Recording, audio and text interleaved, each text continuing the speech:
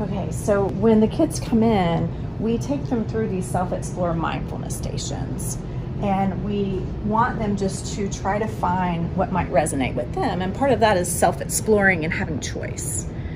And so some of them are more tactile, where they actually touch and feel. Some of them are more writing, journaling. Some of them are more creating, where they're making like a vision board, they're using positive affirmations. We have affirmation bracelets that they can make. And so they use a power word like strong, peace, love, gratitude, whatever works for them. And then also we have mindful coloring books, which are hugely popular with the kids. So they can just sit and kind of mindfully color and they use the clipboards and they can sit anywhere in the room and get cozy